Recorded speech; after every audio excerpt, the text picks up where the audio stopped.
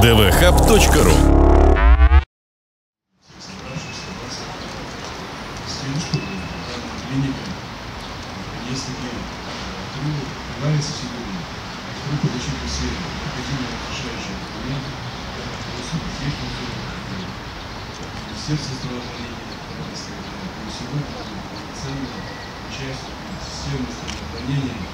конечно, сегодня это политика государства, и сегодня привлекаются частников для того, чтобы и частный капитал работать в благо жителям нашей страны, нашего Краснодарского края, нашего города. На мой взгляд, это очень здорово. Тем более то, что в этой клинике будут такие замечательные технологии, как эндоскопическая хирургия, как э, лечение с помощью ультразвука, под контролем томографа.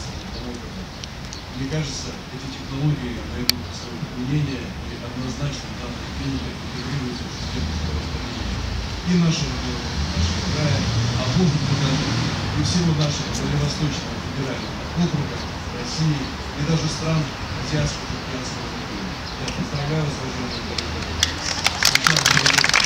Клиники. Надеюсь, что эта работа будет успешной и очень много закуплено для ЛО, эндоскопической операционной внутренней, вот такие маленькие аппараты, которые подключаются к видеостойкам, и можно работать совершенно внутри э, манипуляциями, не делая разрезов, не делая каких-то очень щадящее, очень современное оборудование.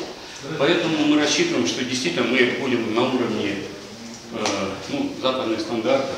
У Александра Валентиновича это больше всего этого, конечно, очень богат выбор у нас. Но мы тоже стараемся подтянуться, чтобы и частная медицина. У нас таких возможностей, конечно, нет, но мы надеемся, что мы будем сотрудничать, потому что под единым Министерством здравоохранения Говоря вошел в территориальную программу государственной гарантии, он взял определенное количество э, объемов по магнитно-резонансным нагрузкам. щадящие, вообще сохраняют свое здоровье, абсолютно практически безопасно. Я проходил все. Только так, как вы говорите, за рубежом. эндоскопическое оборудование. И есть А у вас автокласс. есть вообще такие уже здесь? Это первый. Первый? Он первый, отечественный. Здесь много импортных аппаратов. А Пластер – это наша фирма московская, которая наладила производство. Он стоит больше 3 миллионов рублей, то есть ну, тут все автоматизировано, то есть все точно так же. Выдает все параметры, то есть все полностью автоматика.